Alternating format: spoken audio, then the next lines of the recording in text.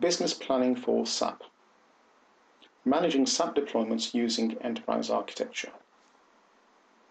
The following presentation is an examination of the challenges that people are exposed to in trying to deploy and maintain SAP installations. We'll cover a brief introduction to some of those challenges to provide the context and the background for the purposes of this demonstration. We'll then go in and take a look at some of the key components that are pertinent in building a SAP architecture and the way that those will help us to understand the uh, deployment of the SAP uh, installations and how to improve those SAP installations in there. We'll proceed then to uh, deliver a demonstration of those key components and how they are integrated with one another. And then finally, we'll wrap up with a summary and uh, conclusion of what uh, has been presented and demonstrated today. Here are some key considerations and challenges when looking at the deployment and maintenance of SAP installations. Whilst uh, a SAP installation is going to be an IT project, it has invariably got to satisfy the needs of the business. And uh, it is often the case that there are huge investments in ERP, and these are wasted because the needs of the business have not been fully understood.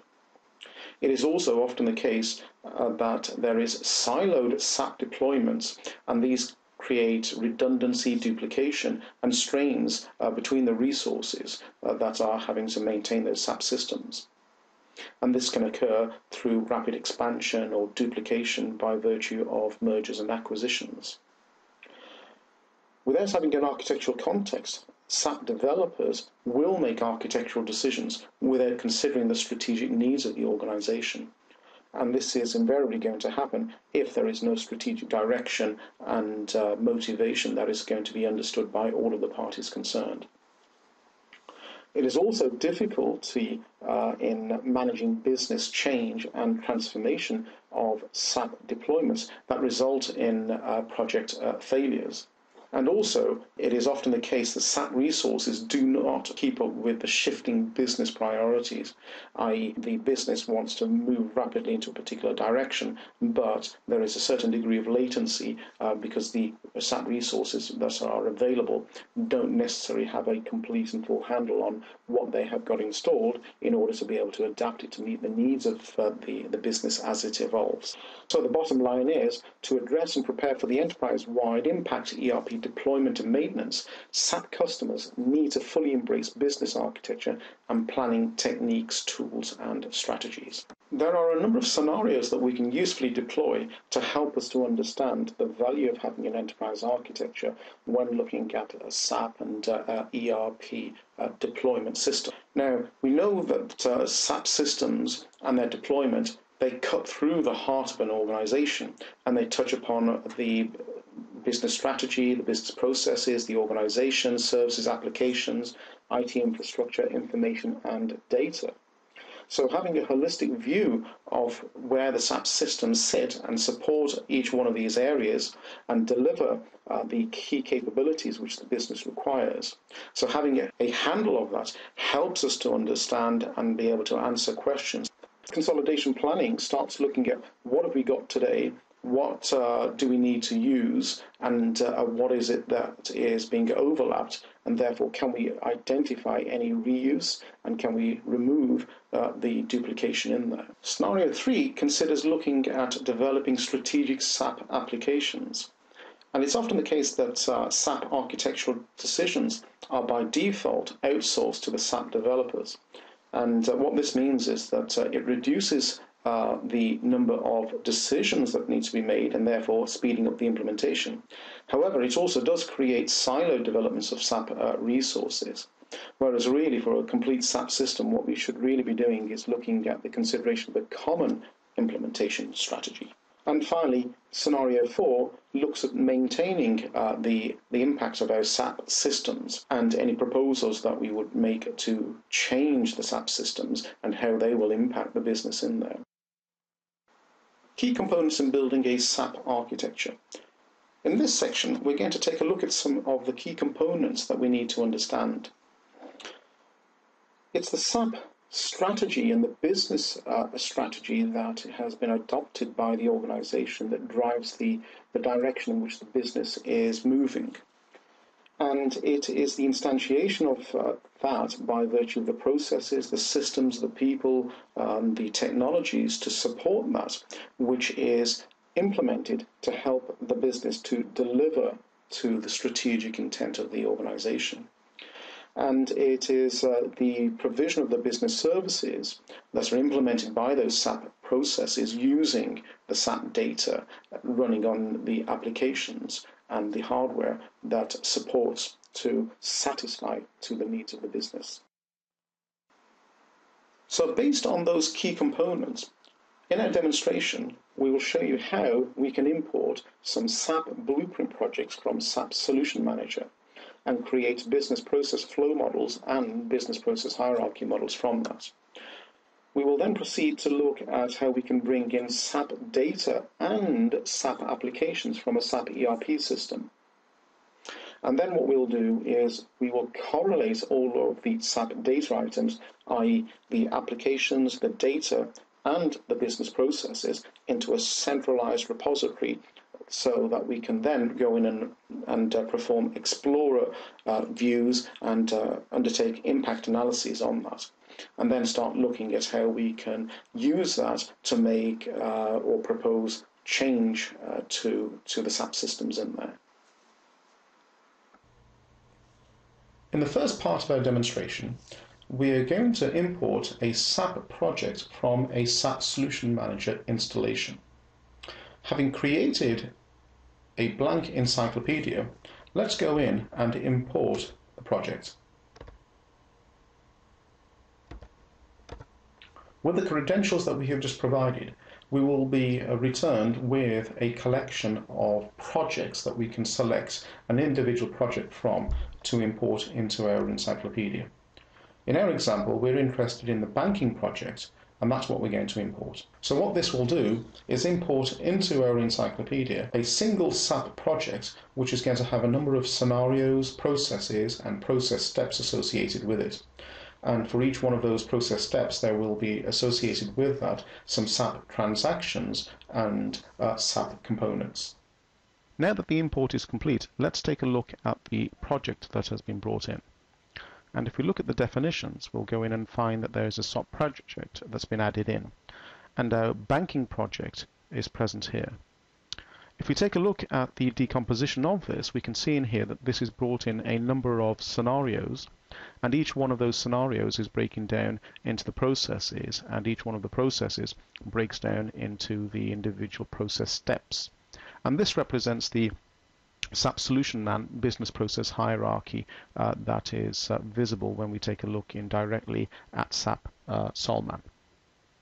Now, whilst the hierarchy is brought in as a set of definitions, the models or the uh, diagrammatic representations of those aren't automatically created. So we have to go in and create a view which represents that hierarchy. And in this example, I have uh, pre-populated the banking hierarchy to show uh, the SAP solution project that we've just imported in.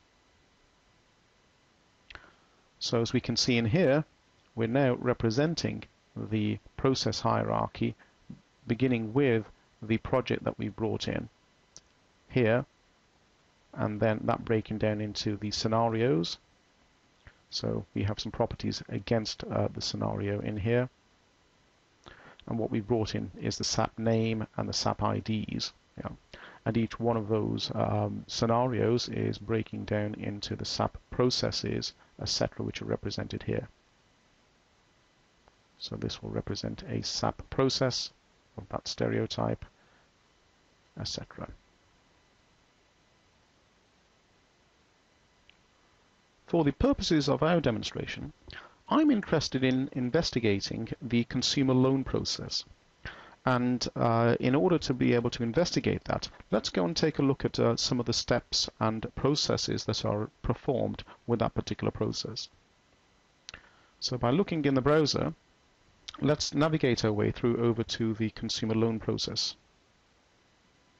So I found that here, and by decomposing it, I can see that it's got a number of uh, steps associated with it. And in particular, I'm interested in the trigger payment uh, step. Notice that the trigger payment step has associated with it a SAP transaction. And the one I'm interested in again is the parameters for payment of a P request. Now notice again that that uh, has associated with it a SAP transaction code and in this instance the SAP transaction code is F111. So let's make a mental note of that particular SAP transaction code and we're now going to go over and take a look at the SAP ERP system and to identify that SAP transaction code and to associate and find out the applications and the data that this particular SAP transaction code is associated with. Now, given that we're interested in the application components and the data which are associated with a particular SAP transaction code that we have found uh, in our business process import, so the SAP ERP browser gives us an opportunity to be able to look at some SAP systems and uh, look at those SAP systems from a data point of view. And in this example, we already have a SAP ERP system uh, that contains the uh, application components and the data that we're particularly interested in. But this contains an awful lot of information, and to work with it effectively, we need to be able to go in and to find either uh, items by navigating through the tree structure or by searching uh, for particular items of interest. And in our example, what we're going to do is we're going to search in our hierarchy for the SAP transaction which we have identified, which is F11. And when we do a search for this, it brings back one item that is found in the hierarchy in there, which is parameters for payment of P request. And if we want to look at the context in which that particular SAP transaction sits, we can do so as here. So now it's telling us that this particular SAP transaction is part of the uh, module pool for entering payment runs, which is a program, and that program is part of a development class which is part of the automatic payment application component. So there's a number of things we're going to do. So the first thing here is because we're interested in the SAP transaction code here, we're interested in understanding what uh, data items that that forms part of or is used as part of or possibly used as part of because we know it's part of the module pool here for this uh, particular program and uh, against that program, there are a number of um, data entities and um, SAP transactions which are being utilized. So to export out the collection of data which is associated with this particular program, we're going to create a um, subjects area. And we do this by creating a subjects area here. And then dragging the program here that we've just identified and that will bring into the subjects area the collection of uh, data items that are uh, or the tables which are associated with that particular program. So now we have this subjects area. Now this is a subjects area that's created in the SAP ERP system. We can export that out over into System Architect. So let's select that, click on next, and we're going to create a diagram over there and it's going to be called F11 and I already happen to know that it's going to be part of the SAP uh, model uh, model diagrams. So let's click on to next and export that out. So far, we have identified then the business processes that we're particularly interested in. So that was the consumer loan process, and associated with that down its hierarchy was the F11 um, SAP transaction code, and against that SAP transaction code, we've been able to identify the entities that we're interested in. Now to complete the picture, we're also going to use the SAP ERP browser here also to identify uh, the application components which are associated with the SAP transaction code. And we'll be able to export that out over into System Architect as well. So that will give us a view of the application components, a view of the processes, and a view of the data uh, that those processes use. So we'll have a unique combination of the of the three uh, views all hold, all being held uh, within System Architects. So as we can see now, it's constructed a diagram for us uh, based on the export of that subjects area from within the SAP ERP system that we were just looking at. So here are the sets of entities that we've brought in there and their relationships and against each one of these entities we also have the various attributes that have been brought in. Let's just go back over into the SAP ERP system and also uh, take a look at the uh, exports that we want to uh, conclude for the application components as well. So remember what we were saying here is that the application components, or rather the transactions that we've got are part of these programs, which form part of the um, uh, development class, which is part of the automatic payments application component. So we can export this out too as, as, as an SA uh, XML file. And again, what I will do here is it's called automatic payments and let's save that. Okay. So now that we've uh, completed with the SAP ERP uh, system that uh, we've been using here, let's go back over into System Architects and uh, import the information that we've just exported out as far as the application components are concerned. And if we do this,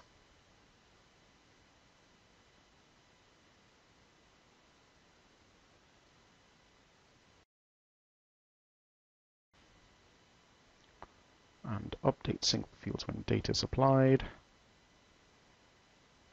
So what that provided for us then is the set of application components, uh, which was the automatic payment. There we have it. And if we take a look at the details for that, the list of SAP transactions that have been associated with that and if you look at the one that we were uh, originally looking at, it was F111, 111. 111. But also against this uh, application component, there are a number of other SAP transaction codes and SAP transactions which this, uh, uh which this performs. Having imported the entities from the SAP ERP system, um, we've brought in the models as entity relationship diagrams. However, um, whilst the models have been organized uh, via the SAP transaction codes into subject areas, we want to just uh, elaborate on that just a little bit further and associate each one of the individual entities that we've got here and associate it with the SAP transaction code. And the reason we're doing it uh, in this manner is that there may actually be more than one uh, SAP transaction code associated with the entity. And in this example, no, there aren't any other existing SAP transaction codes. So let's just go in OK.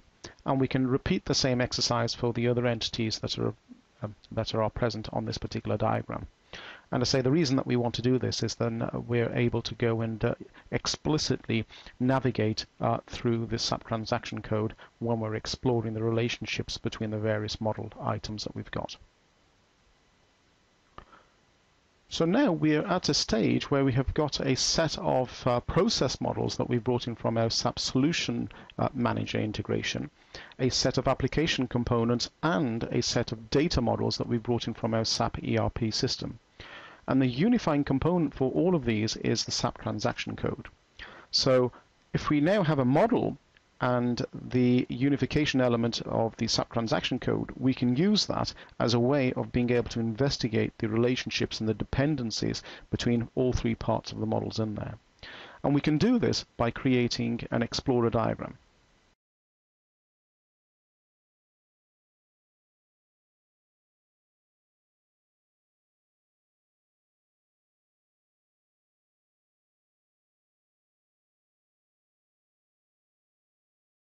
And I'm going to use the TOGAF 9 viewpoint here for a SAP business footprint diagram because I've already predefined and set up some uh, Explorer object reports and relationship reports in our heat map manager.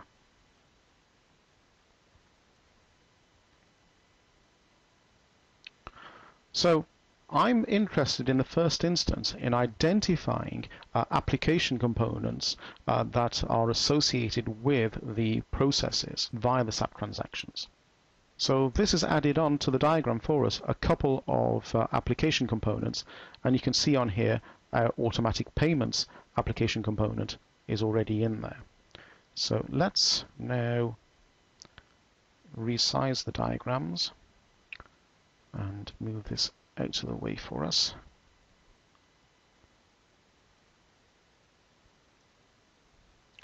Now, similarly, I'm also interested in understanding uh, the processes which are associated with those application components. And if we now move that over here, and if we zoom in a little bit, and again, you'll see in here is the entry for our trigger payment process that we had also uh, started off with when we were looking at the relationship uh, between that and our F111 SAP transaction code. Now, I'm also interested in understanding the entities that are associated here. So we can run this report for the processes uh, to the entities via SAP transaction codes. We could have also looked at application to uh, entities uh, or application component to uh, entities via the SAP transaction code is here, but this will give us a smaller subset in which we're interested in. So this has a large number of entities at the moment, so that's why it's taking a little while. So here we have now a number of entities that have been added into the models.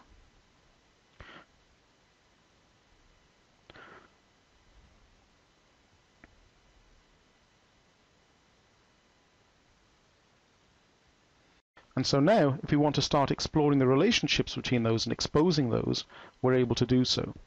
So if I want to understand the relationships between the application components and the processes, we're able to run the uh, application to process via SAP transaction report. So immediately you can see on here that the application component that we had originally, uh, which is our automatics payment, is indeed associated with the trigger payment uh, process that we'd identify. And in addition to that, as part of the models, we've also brought in loans and uh, the associated processes with that application component as well. Remember, all via the SAP transaction code. Now, similarly, we can also now start taking a look at the relationships between the processes and the entities and the applications and the entities. So if we run the application component or process to entity via the SAP transaction code report, we'll get a large number of relationships being shown on here. So again, our trigger payment has got a large number of entities, uh, or that particular process step has got a large number of entities associated with it. Similarly with the, the other uh, processes that we've got here. So you can see very quickly uh, that we're able to import in information from multiple uh, data sources and combine those into a central model for us to use. And this gives us the great advantage that we're able to harvest this information and leverage that very, very quickly into our um, into our models in here and be able to understand uh, currently what we've got and also to be able to work out where we want to go in the future if we're proposing on making any changes to any part of the models that we've got here or any part of your SAP uh, installation. And you can approach that either from by looking at the process side or the data side or uh, the application component side. So by understanding the strategy, the process that we've imported in from SAP Solman, and the data and applications that we've uh, brought in from SAP ERP systems, we're able to have an integrated view of the dependencies between those various components and use those as the basis for performing business uh, analytics and impact analyses before we go ahead and uh, start uh, developing um, roadmaps for transformation and change of any SAP installations that we have. And the key code to all of this is the SAP transaction code that sits at the heart of all of these three key areas.